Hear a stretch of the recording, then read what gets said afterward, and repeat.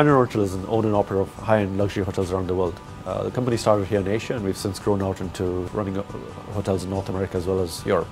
We've got 27 hotels today, over 11,000 employees.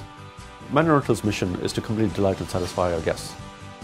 One of the technological challenges is mobility. There's been this whole shift towards consumerization of IT in the last few years. And from our perspective as well, we have a very strong need to support mobile communications. It's kind of unique to hospitality is that it's a 24 by 7 environment. Our hotels are operating 24 hours a day. Uh, unlike a bank, which usually manages to shut on the weekends, we don't. We've got a very complex environment in the hotels. Many hotels have 25 to 40 servers running you know, two or three dozen different applications. We've got a very lean IT team, so it's very hard keeping all of that running. Mandarin has decided that we need to try and move our, our IT to the cloud.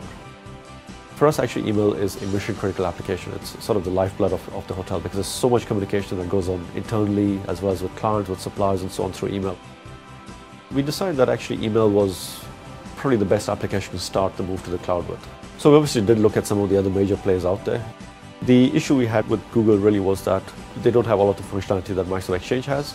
Our users are already used to that functionality, things like calendaring. And you know, those are those things actually make a difference to productivity. So we expect by the end of this year we'll have about 14 to 1500 users.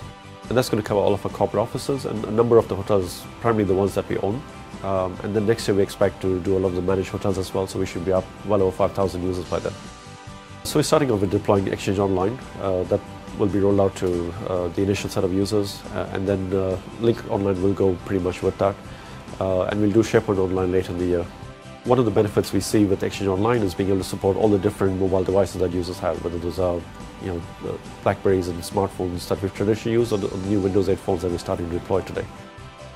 One of the other advantages for us is mailbox sizes. Uh, you know, traditionally we've restricted our mailboxes to a few hundred megabytes. Now we can give users 25 gig mailboxes. If we do need to deal with the legal hold, it's going to be very easy because everything's in one place. With Lync, I just go to Outlook, create my appointment, one click, and it's an online meeting with you know, full conferencing capability.